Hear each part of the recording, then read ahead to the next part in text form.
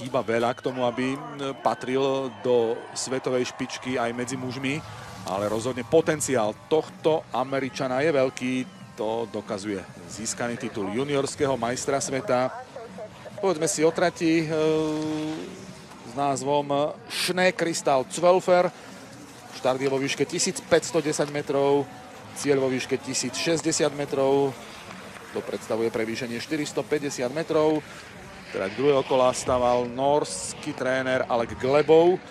60 bránok, 4 sú prejazdové, takže 56 oblúkov musia pretekári absolvovať na trati druhého kola. A ako prvý teda bude sa snažiť využiť e, tie relatívne dobré podmienky ešte na neporušenej trati. Rider Sarčet, teplota veľmi vysoká, na štarte plus 8 stupňov Celzia v cieli, plus 9, takže sa stále otepluje je veľký otáznik, ako bude držať trať a naozaj tie čísla hrajú dnes veľkú úlohu. Faktor spomalujúcej sa trate dnes účinkuje viac ako e, v tých predchádzajúcich pretekoch e, sezóny. Naozaj je to typické jarné počasie. Ryder Sarchet to má za sebou. Jeho premiéra medzi mužmi Výsledný čas 2 minúty 40,65 stotín sekundy pre 20-ročného Američana. Američania tu majú dvoch pretekárov vo finále Svetového pohára, okrem Sarčeta, ktorý využil právo štartu na základe zisku titulu juniorského majstra sveta. Je tu ešte aj pôvodne kvalifikovaný podľa počtu bodov v sezóne a to River Redemus, ktorý je po prvom kole klasifikovaný na 15. mieste. Rakúšania majú troch zástupcov vo finálovom obrovskom slalome, ale nemajú nikoho momentálne v elitnej sedmičke tejto disciplíny, takže ústup e, zo slávy, ústup z pozície sledujeme v rakúskom mužskom týme obrovského slalomu. Prvý z trojice Rakúšanov, Rafael Házer, pokazil prvé kolo, pretože tam urobil jednu veľkú zásadnú kľúčovú chybu, ktorá ho stála lepšie umiestnenie, ale Házer sa v tejto sezóne výrazne v obrovskom slalome zlepšil. Je to inak e, bronzový medalista z majstrovstiev sveta z minulého roka z Courchevelu a Meribelu, keď bol bronzový v alpskej kombinácii. A má výborný záver tejto sezóny v obrovskom slalome. Pelisej Tehov 7, v Aspene 9, ale dnes e, nebude klasifikovaný. Vo finálovom obrovskom slalome sezóny končí predčasne. Pretekár, ktorý často riskuje. Dáva do toho absolútne maximum do každej jazdy. Ten aktívny prístup e, v každom oblúku bol evidentný, ale napokon na strahy trate nezvládol chyba na vnútornej lyži a koniec nádejí pre Rafaela Házera ktorý musel riskovať, pretože po prvom kole mal veľkú stratu na víťaza prvého kola Marka Odermata stratil 4 sekundy a 64 stotín, takže to riziko bolo pochopiteľné v jeho prípade. Takže druhý pretekár, ktorý dnes nedokončí finálový obrovský slalom, po tom, čo Filippo Della Vitte vypadol v kole číslo 1, tak to druhé sa stalo osudným pre Rafaela Házera.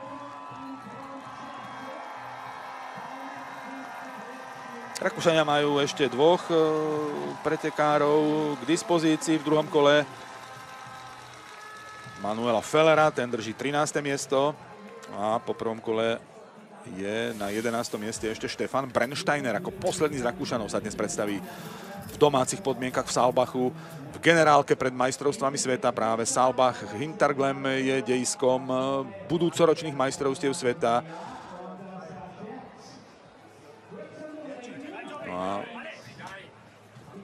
V finále Svetového pohára rok pred majstrovstvami sveta je vždy v dejisku toho nasledujúceho svetového šampionátu. Zalbach bude po druhýkrát v histórii hostiť majstrovstva sveta v alpskom lyžovaní. Prvýkrát to bolo v roku 1991.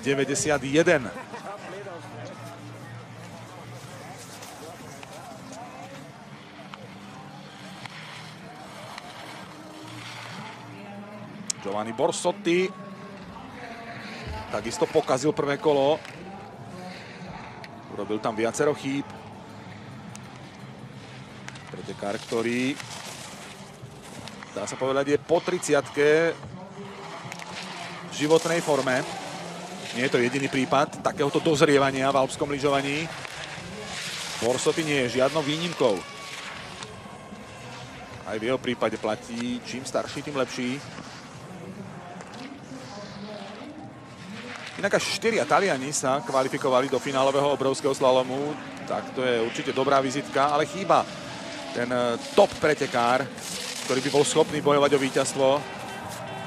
Naposledy sa tešili Taliani z víťazstva v obrovskom slalome zásluhou Maxa Blardoneho, ktorý už dávnejšie ukončil aktívnu kariéru a na svojho nástupcu v pozícii víťaza čaká. Federika Brignoneová takisto so záujmom určite sledovala jazdu svojho reprezentačného kolegu Giovanniho Borsotyho. Brignoneová má ešte teoretickú šancu bojovať o veľký kryštálový globus, ale prakticky tá šanca skoro neexistuje ale matematicky ešte Brignoneová ako jediná môže ohroziť e, Laru Gutovú Berámiovú na ceste za veľkým kryštálovým globusom.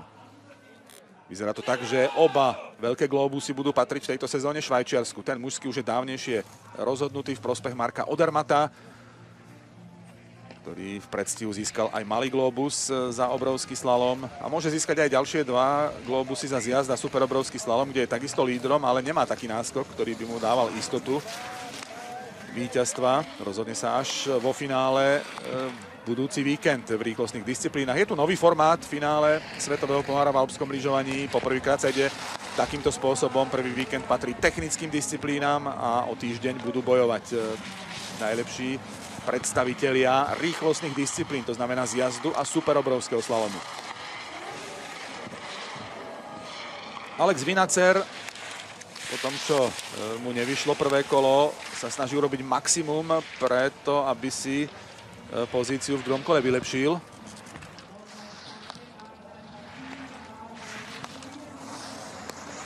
Ale zatiaľ stráca na krajena Borsotyho. Je to ale určite lepšia jazda, akú predviedol v prvom kole tento pôvodne slalomársky špecialista, ktorý po tejto sezóne už e, s veľkou vážnosťou absolvuje aj obrovský slalom a postupne sa dostáva do tej najúžšej svetovej špičky aj v tejto disciplíne. V finále mu síce nevyšlo úplne ideálne, tak ako e, podujatia na americkom snehu, keď e, žiaril najmä v Aspene, keď v dvoch obrákoch e, v tomto stredisku získal 6. a 5. miesto. To sú jeho najlepšie výsledky tejto sezóny, takže formu rozhodne mal veľkú, ale Zalbach e, vo finále Svetového pohára mu až tak nesadol. Stratil na Borsotyho napokon 30 stotín sekundy. Tretí juniorský majster sveta Ryder Sarchet e, má manko 2,3 sekundy na priebežného lídra Borsotyho. Sam Maas sa postaral o to, že aj Belgicko je súčasťou e, finále Svetového pohára v alpskom lyžovaní. Patrilo mu pred finále 23. miesto, takže sa zmestil do tej 25 najlepších pre danú disciplínu a tým získal možnosť štartovať. Je výborný aj v slalome. A navyše stále veľmi mladý, 25-ročný pretekár. Teraz tam bola ale chybička.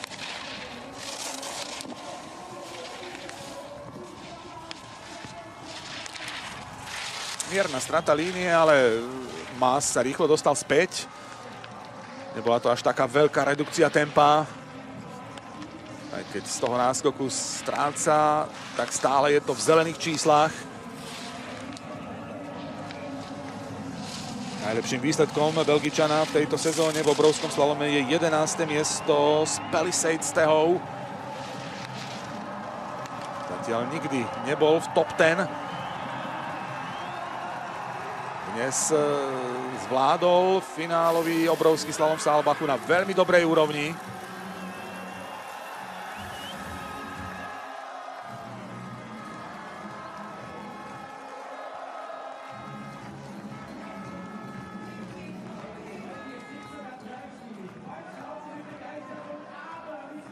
To síce až štvrtý čas, čo sa týka druhého kola, ale po zrátaní oboch kvôl to Másovi bohato stačí, keďže mal náskok e, po prvom kole na pretekárov, ktorí boli e, priebežne pred ním po absolvovaní druhého kola.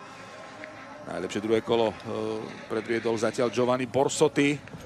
najlepší čas v druhom kole. Bude to chcieť ale teraz zmeniť Timon Haugan, ktorému takisto prvé kolo príliš nevyšlo. Haugan pritom má výbornú formu. Poprvýkrát v kariére sa dostal na stupeň víťazov v obrovskom slalome práve v tých posledných pretekoch pred finále v Aspene. Skončil na senzačnom treťom mieste. Haugan je podobným príkladom ako Vinacer, aj on bol ešte pred touto sezónou absolútnym špecialistom na slalom, ale urobil veľké pokroky v technicky najnáročnejšej disciplíne. Stredný oblúk výrazným spôsobom vylepšil, dnes je to o strednom oblúku, ktorý je základom alpského lyžovania.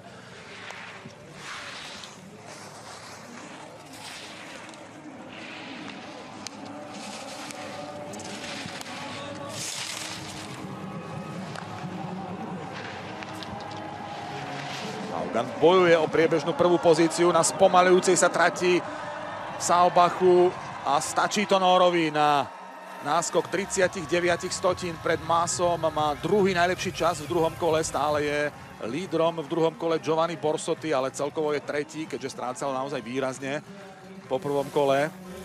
Takže Haugan mení poradie na čele. Uvidíme, ako dlho vydrží na prvej priečke. Ďalším vyzývateľom je Francúz Thibaut Favrot. Mal ale iba 8 stotín sekundy k dobru na Haugana, takže bude to mať viac ako ťažké, aby zmenil poradie na prvom mieste. S každým ďalším číslom je tá trať pomalšia, to je evidentné. Takže Favrot e, musí predviesť e, agresívnu jazdu. dobrou líniou, najmä presný musí byť v jednotlivých oblúkoch. Zatiaľ to Favrot zvláda na veľmi dobrej úrovni. Jediný Francúz vo finálovom obrovskom, obrovskom slalome po zranení Pantyroa zostal takým uh, osamoteným v tomto smere. Je to u Francúzov tak či tak ústup z pozícií v obrovskom slalome. Sám vojak v poli. Tak by sa dal charakterizovať momentálne Favrod e, vo francúzskom týme v obrovskom slalome.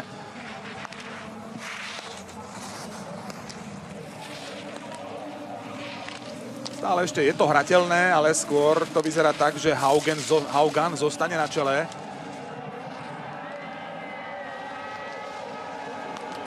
Favrod bojuje, ale nebude to stačiť e, na Nóra o 31 stotín sekundy prehráva boj o priebežnú líderskú pozíciu. Haugan zostáva prvý, favorotov čas v druhom kole až šiestý najrýchlejší.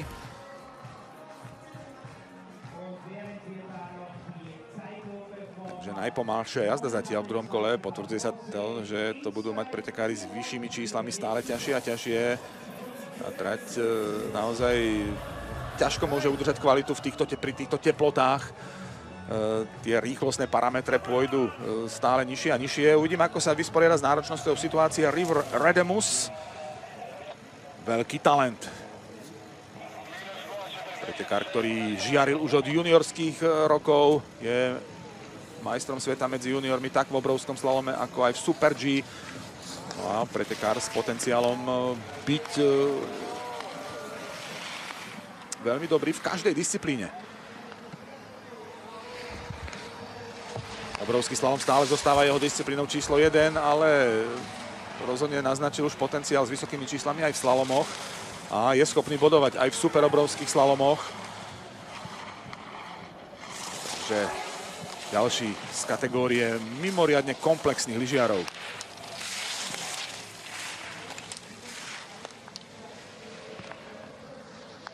V tejto sezóne poprvýkrát na pódiu v obrovskom slalome. Podarilo sa mu to Palisades Tehov doma na americkom snehu. Bol tretí za Odermatom a Kristoffersenom.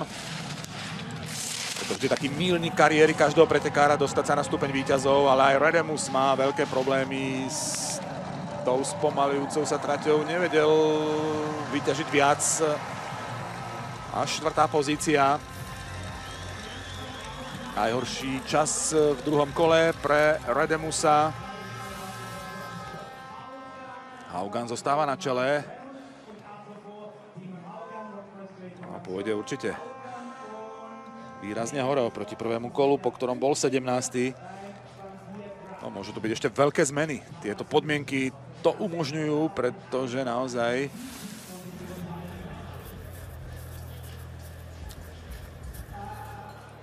to veľmi závislé od toho, čo dovolí trať. Haugan z toho vyťažil absolútne maximum, čo mohol vedie o 31 stotín sekundy pred Favrotom a o 39 pred Belgičanom Másom. Štvrtý Rademus stráca 97 stotín. Piatý Borsoty s mankom sekundy a 4 stotín. Vinacer na 6. mieste stráca sekundu a 34 stotín a uzatvára to Američan. Juniorský majster sveta Ryder Sarchet s deficitom 3 sekúnd a 7 stotín. Nedokončil Rafael Házer. No a o chvíľu budeme sledovať jazdu Alexandra Šmida. To bude ten ďalší pretekár s číslom 13. Ho tam už vidíme v štartovacej budke sa pripravovať na svoje vystúpenie v druhom kole. Je to majster sveta z alpskej kombinácie z minulého svetového šampionátu. So strediskami Courchevel a Meribel.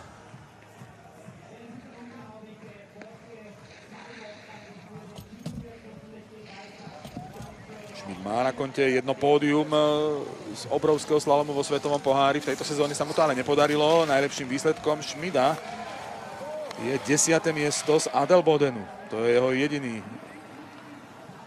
respektíve dve, dve top ten umiestnenia. Ešte bol deviatý vo Val Na to som trošku zabudol. Hneď v tom prvom obrovskom slalome bol Alexander Schmidt 9. a stále je to jeho najlepší výsledok z tejto sezóny.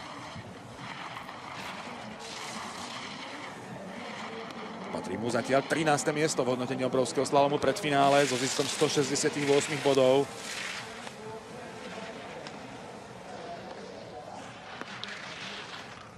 Mal slušný náskok e, na štarte a nestráca z neho veľa.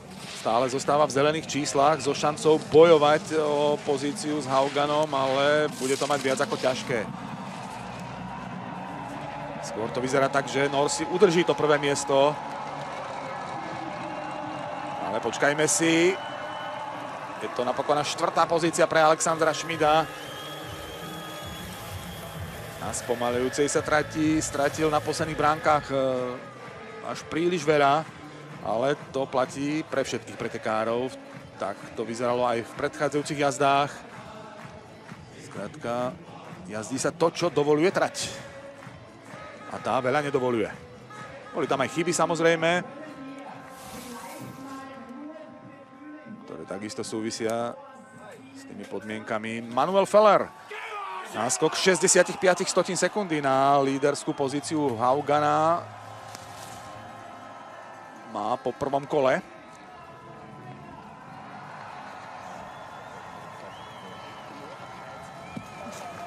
Fellerovi patrí v hodnotení obrovského slalomu zatiaľ 10. miesto.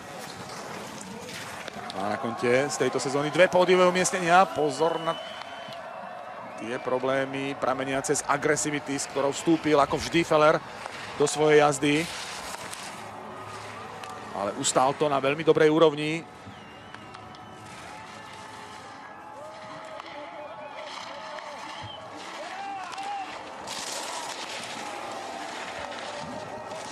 Ako vždy na doraz ide so 100% rizikom, s tou absolútnou dávkou.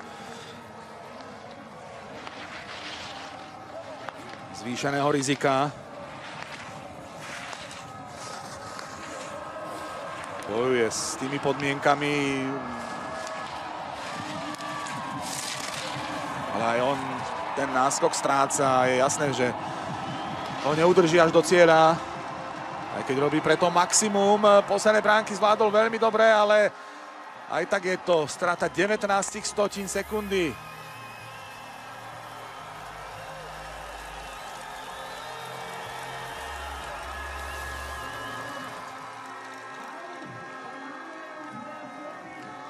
Timon Haugan zostáva lídrom. Feller bojoval, boli tam chyby.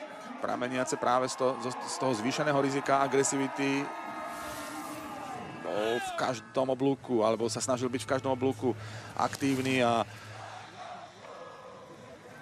drží v tejto chvíli teda druhú pozíciu. Na tretí je Luca de Aliprandini. 66 stotín, to bol jeho náskok na Haugana po prvom kole.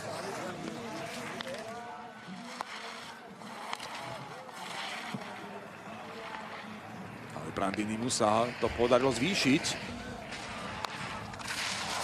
Aj on vstúpil veľmi aktívne do druhého kola.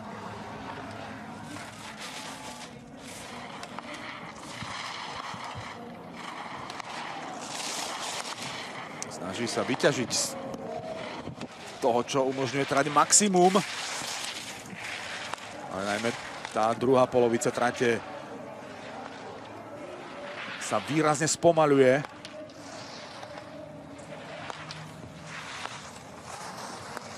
vplyv silňujúcich sa slnečných lúčov, zvyšujúce sa teploty samozrejme sa prejavuje na výkonoch a na časoch.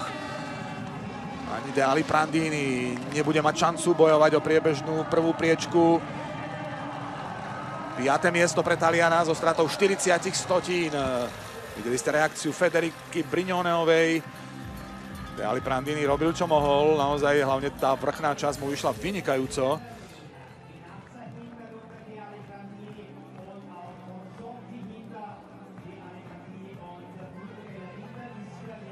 z toho bol až 8. čas v druhom kole. Najrýchlejšie druhé kolo má stále Giovanni Borsotti, druhý čas v druhom kole Timon Haugan, ktorý je celkovým lídrom. Aj Stefan Brensteiner bude mať veľký problém atakovať pozíciu Timona Haugana. Aj keď mal 80 stotín náskok po prvom kole, ale musíme počítať s tými podmienkami, ktoré sú na tých posledných bránkach. Tam e, sa to naozaj evidentne spomaluje. Tuto ešte Brensteiner zvláda výborne. Navýšil náskok, e, ktorý mal na Haugana po prvom kole. A mohol by z toho profitovať.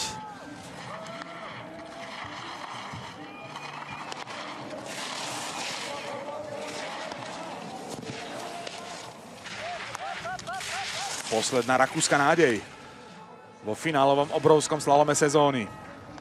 Štefan Brensteiner ale nebol rakúskou jednotkou v rámci celej sezóny. Pred finále držal 18. miesto v hodnotení disciplíny. Rakúšanom sa ale zranil Marko Švárc, ktorý bol jasnou jednotkou tejto disciplíny v Rakúsku.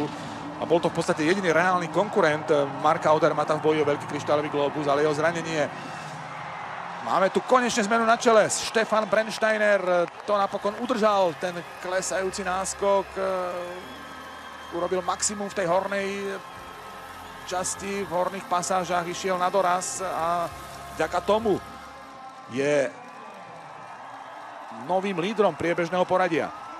Mal takmer sekundový náskok po prvom kole na Haugana. Samozrejme, to už e, tiež hralo veľkú úlohu. Napokon mu zostalo 11 sekundy k dobru. Takže Brensteiner, Haugan, Feller, to je momentálne poradie na prvých troch priečkách, ktoré bude v tejto chvíli chcieť zmeniť. E, Jean Kraniec, ktorý má vynikajúce spomienky na tento svah. Keď sa tu naposledy išiel svetový pohár v obrovskom slalome, bolo to v decembri 2018, tak to bol práve Jean Kraniec, ktorý dosiahol víťazstvo Jedno z dvoch víťazstiev Žana Kranieca vo Svetovom pohári sa zrodilo práve tu. No ale Kraniec e, na Brensteinera stráca výrazne.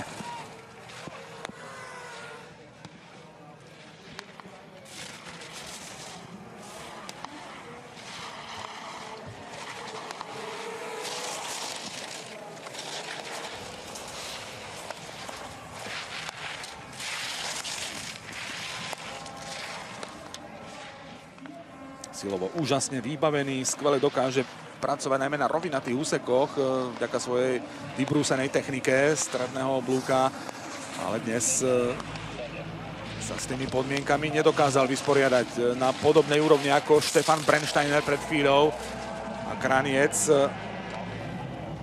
bude strácať pozície.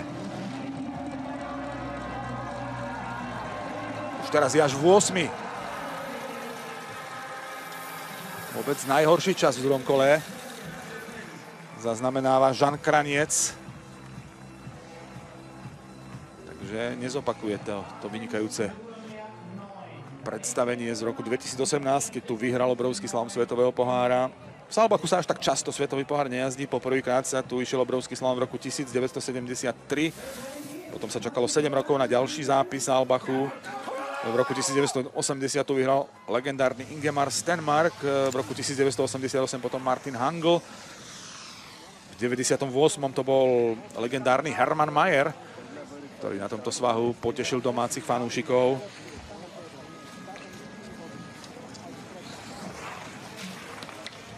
V roku 99 eh, Helmut Mayer a naposledy v roku 2018 Jean Kraniec.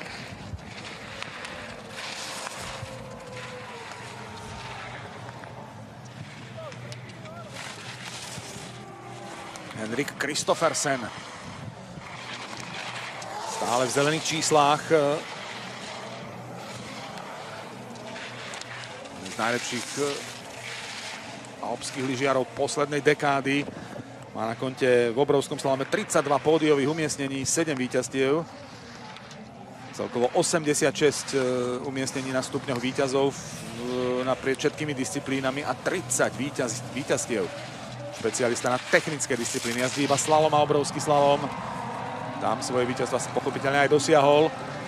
Ale Kristoffersen, e, zdá sa, bude mať veľký problém e, poradiť si s Brensteinerom. Je druhý, ale iba o 800 sekundy. Zdoláva krajana Haugana. Bol to boj, bol to obrovský boj. So spomalujúcou sa traťou. Videli ste, ako je fyzicky doslova vyžmíkaný na ťažkom snehu sa teda poriadne nadrel. Štefan Brensteiner zostáva na čele. 8 stotín. Druhý Henrik Kristoffersen. Ďalších 11 stotín stráca Timon Haugan. Štvrtý Manuel Feller s mankom 30 stotín. Thibaut Favrot s odstupom 42 stotín sekundy. 5. 6. Sam Maas 7. Luca de Aliprandini, 8. Alexander Schmidt až 9. Jean Kraniec a prvú desiatku zatvára v tejto chvíli River Redemus, ale ešte pochopiteľne nás čakajú veľké zmeny.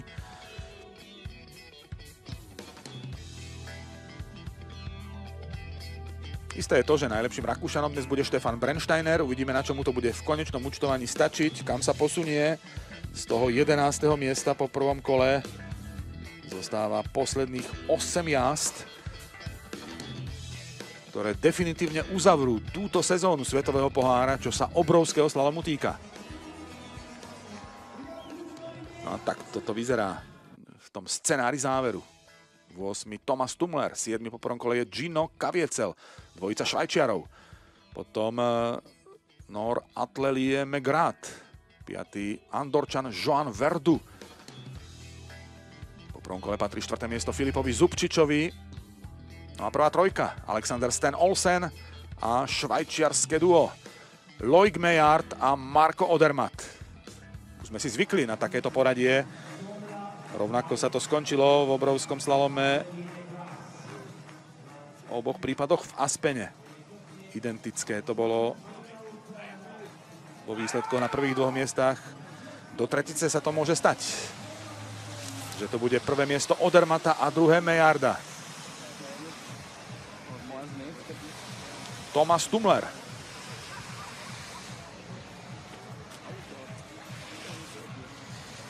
V 35 rokoch zažíva najlepšiu sezónu v kariére. Dokonca sa dokázal prepracovať do elitnej sedmičky pri zraneniach Marka Švarca a Alexio Pantiroa. Sa dostal do prvej žrebovanej skupiny v závere sezóny po vynikajúcich výsledkoch. Sezónu začínal dokonca s číslami nad 30, ale postupne sa e, dopracoval k vynikajúcim výsledkom a dokonca v posledných 4 obrákoch sezóny to bolo vždy top 10 umiestnenie.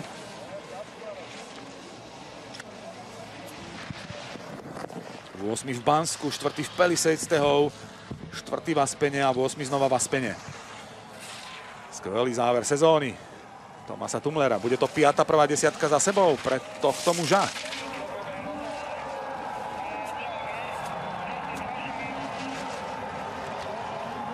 bojuje.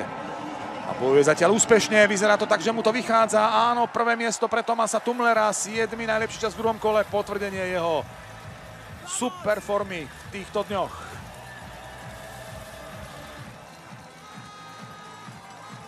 S číslom 15 v druhom kole, 7. najlepšie druhé kolo. Suma sumárum, jednoznačné prvé miesto o 41 sekundy pred Brensteinerom a o 49 pred Kristoffersenom.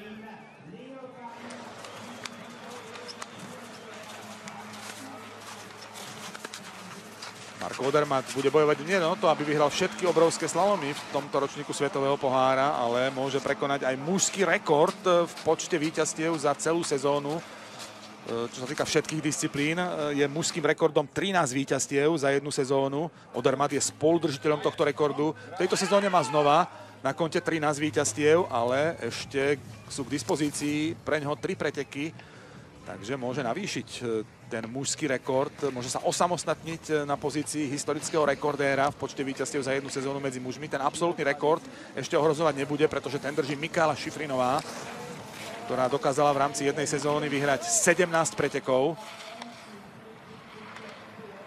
Ďalší zo švajčiarského mega silného týmu Gino Kaviecel. Štyria švajčiari eh, boli súčasťou finálového obrovského slalomu. Všetci sú z prvej desiatky po prvom kole. Gino Kaviecel držal 7. miesto.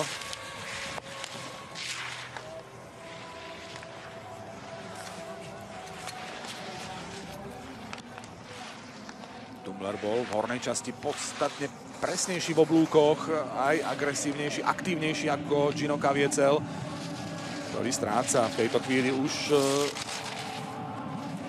tak, že nemôže ohrozovať reálne pozíciu svojho krajana. Tumler môže byť pokojný, prvý zostane aj po jazde Gina Kaviecela. Ten klesá v tejto chvíli na štvrté miesto, takže si zrejme trošku pohorší oproti prvému kolu.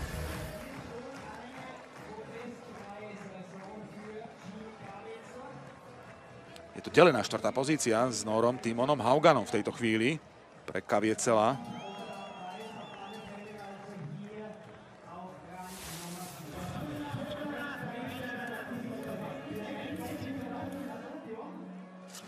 sústredenie tohto muža. Momentálne sme v ére Marka Odermata. Ale nedávno sa skončila éra Marcela Hirschera a je tu nová veľká éra iného fenoména tohto športu. Marko Odermat má nakročené k úžasnej kariére.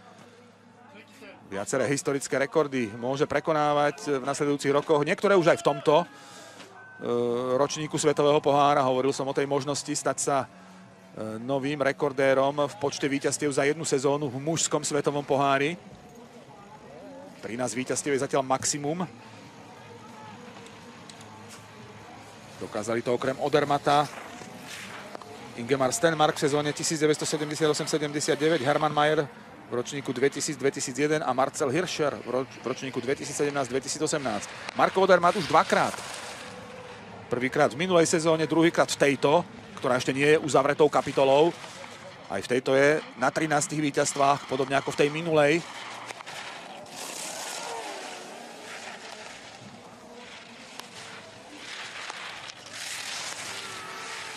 Atlelie Grat ešte nie je poslednou norskou nádejou.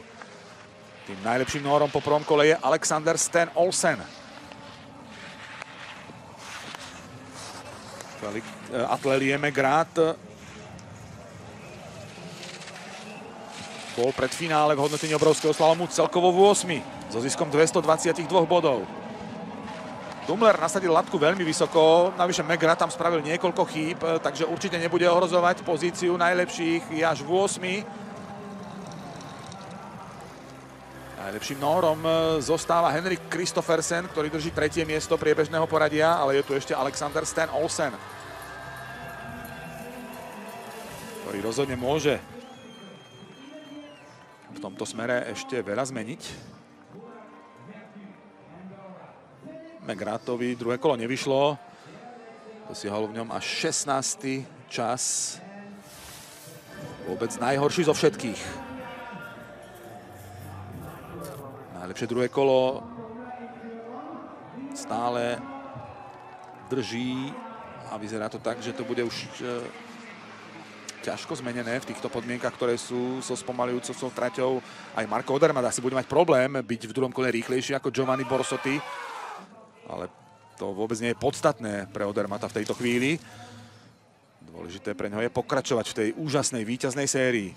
Ďalší zaujímavý muž na trati, prvý Andorčan histórii, ktorý sa dostal vo Svetovom pohári na stupeň víťazov. To je práve tento muž, Joan Verdu.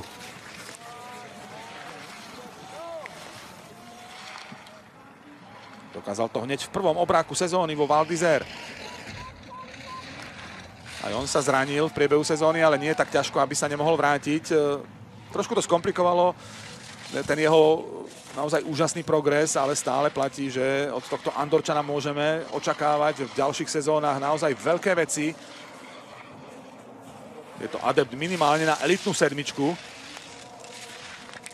A určite ho čakajú ešte v budúcnosti aj viaceré pódiového umiestnenia, ak bude pokračovať e, v práci, v takto kvalitnej práci a v progrese.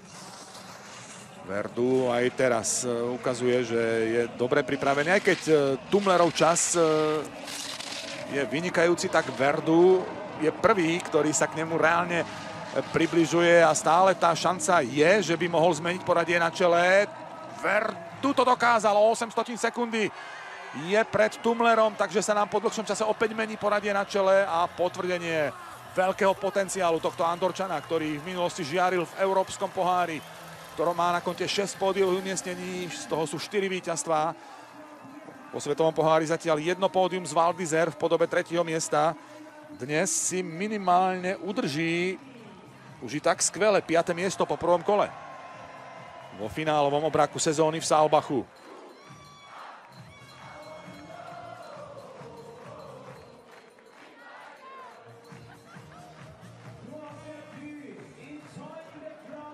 28-ročný Joan Verdu. Okrem tretieho miesta z Valdizer má na konte aj 5. miesto z Altabádie. 7. bol Šladmingu, ale viackrát nedokončil. Niektoré obraky vynechal kvôli zraneniu. Takže naozaj iba 4 bodované výsledky, e, teda respektíve iba 3 bodované výsledky, 4 aj s týmto. A mu to, zabezpečovala mu to 16. miesto pred finále v hodnotení obrovského slalomu. 3 bodované výsledky mu na to stačili.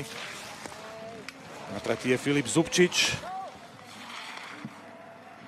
Je jasné, že Verdu ho ohrozovať nebude.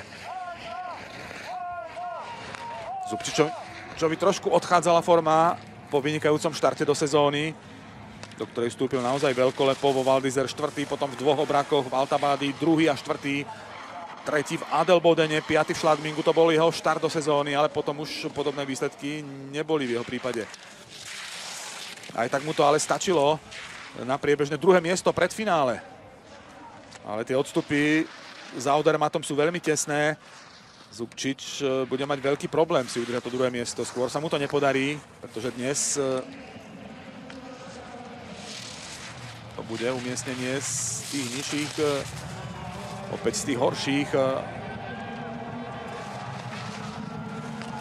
Ani zďaleka sa zo zhoršil so zhoršujúcu sa traťou nevysporiadal tak dobre ako Verdu, Tumler či Kristoffersen. Pokles až na 7. miesto pre Zubčiča. No a ešte sú tam pretekári, konkrétne traja, ktorí sa za normálne okolnosti, ak e, to vyloženie nepokazia, pred Zubčiča dostanú, takže vyzerá to na konečné 10. miesto dnes pre Filipa Zubčiča. A to znamená, že by to druhé miesto v celkovom hodnotení obrovského slalomu neudržal. Mal iba dvojbodový náskok pred tretím Mejardom, 20 bodový pred štvrtým Kristoffersenom.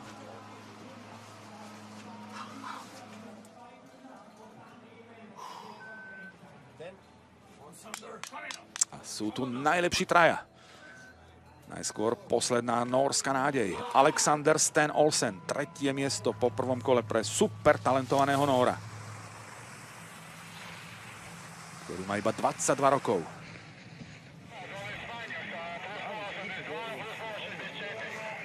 Šieste miesto mu patrilo pred finále v hodnotení obrovského slalomu.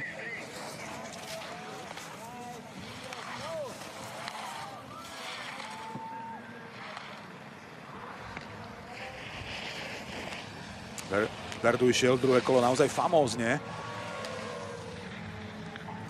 Aj Stan Olsen s tým má veľké problémy, aby sa priblížil k jeho výkonu.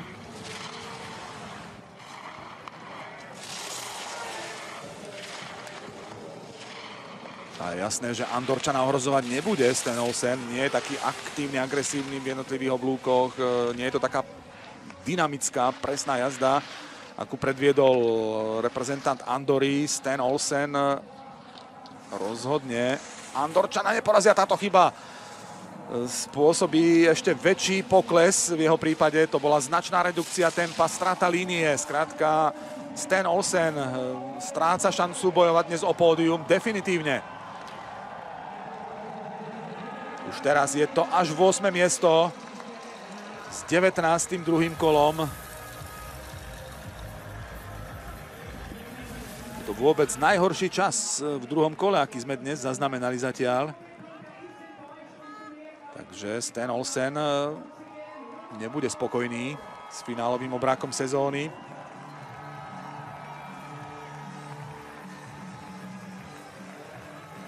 Joan Verdu má v tejto chvíli istotu, že bude po druhýkrát v kariére na stupni, víťazov. Nebude horší ako tretí, takže minimálne si zopakuje to tretie miesto z úvodného obraku tejto sezóny z Valdizer. Tu vidíme radosť Andorčana, ktorý naozaj ukázal svoj talent, potenciál, perspektívu do ďalších sezón. No a už je tu posledná dvojica. Švajčiarsky súboj o víťazstvo. Najskôr Loic Mejard. Strácal 40 stotín sekundy na víťaza prvého kola. Marka Odermata.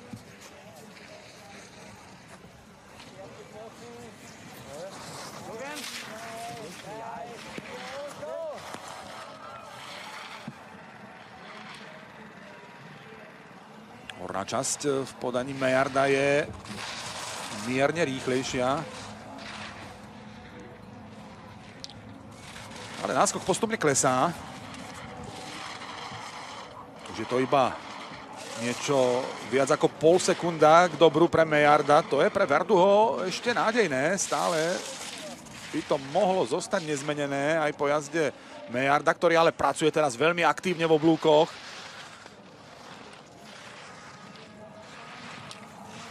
Blíži sa k optimálnej línii. Stále má 46 stotín sekundy k dobru. Mohlo by to Mejardovi stačiť pred poslednými bránkami. Švajčiar ukazuje, že má vybrúsenú techniku stredného oblúka a budeme mať nového lídra. Je to Loic Mejard, ktorý o 71 stotín sekundy zdoláva Andorčana. Krásne pracoval v posledných bránkach, ukázal to, že je naozaj veľkým majstrom stredného oblúka. E, má naozaj fantastický cit, najmä pre jazdu na tých rovinatejších pasážach.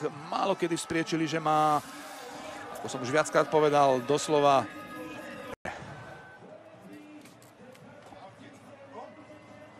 značná frustrácia, ktorý si vybil takýmto spôsobom Alexander Stan Olsen. No a je tu boj Marka Odermata o pokračovanie už i tak e, fenomenálnej víťaznej série v obrovských slalomoch. Šanca na 13. víťazstvo v neprerušenej sérii. Bude to sezóna z kategórie dokonalých. Čo štart to víťazstvo? Zatiaľ 9 obrákov sezóny malo rovnakého víťaza, ale Marko Odermatt urobil chybu, ktorá mu už neumožní pokračovať. Tak eh, každá séria sa raz musí končiť. Odermatovi sa stalo Odermatovi sa to stalo v poslednom obráku sezóny. Švajčiarsko ale smútiť nemusí, pretože víťazstvo Švajčiarsku patrí. Je to Loic Mejard, ktoré, ktorý už e, mal nakročené e, k víťazstvu aj v Aspene. Prehral s Odermatom iba o 14 stotín sekundy. Marko Odermat teda nezvýši počet víťazstiev v tejto sezóne zostáva zatiaľ na 13 víťazstvách, čo je vyrovnanie historického rekordu počte víťazstiev za sezónu, ale pre Odermata zostávajú ešte dve šance. Dve možnosti na to, aby sa osamostatnil v historickom rebríčku na čele, čo sa týka počtu víťazstiev v jednej sezóne. Je teda spoludržiteľom dvakrát, dokonca ako jediný dokázal vyhrať 13 pretekov. Poprvýkrát sa mu to podarilo v minulej sezóne, druhýkrát v tejto. Ďalší spoludržiteľia tohto rekordu vyhrali 13 krát iba raz v kariére za jednu sezónu. Konkrétne sú to Ingemar Stenmark,